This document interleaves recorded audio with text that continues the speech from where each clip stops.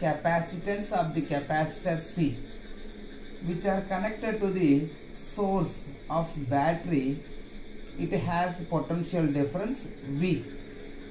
The resistance of the resistor R, capacitance of the capacitor C and battery potential difference V. Okay. So here when potential difference V, here potential 0, here potential 0, here potential V, here potential V. At t is equal to 0, at t equal to 0, net charge equal to 0. That means here potential 0.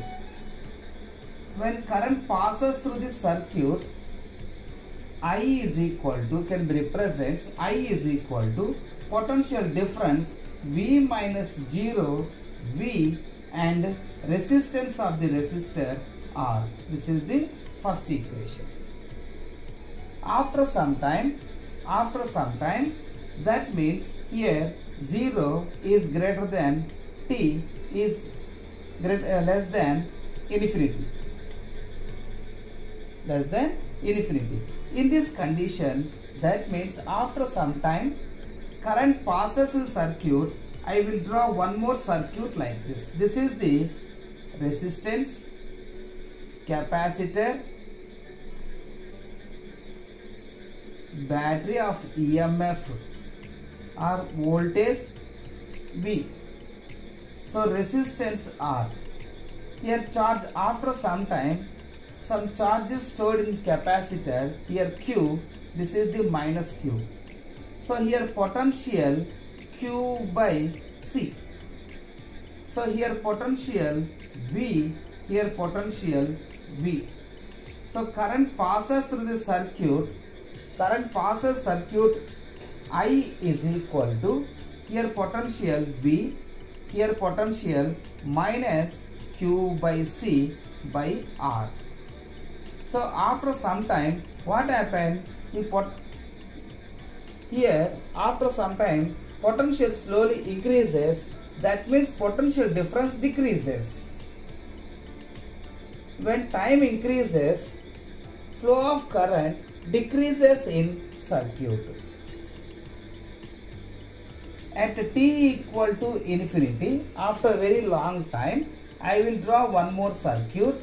This is the resistance, this is the capacitor and battery has potential difference V. So here resistance R, fully stored charge Q, here minus Q minus Q. Okay, here potential V, here potential V. So here potential simply you can write Q by C.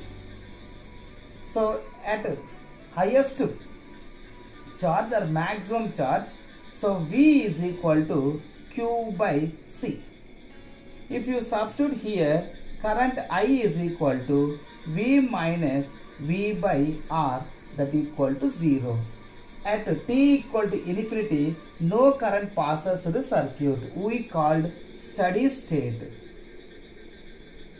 Steady state. So here steady state diagram, most of textbooks they represents like this. Actually, this circuit has resistance. This circuit has resistance but no current flows to circuit. So most of textbooks are eliminated. So this is the basic idea of the circuit.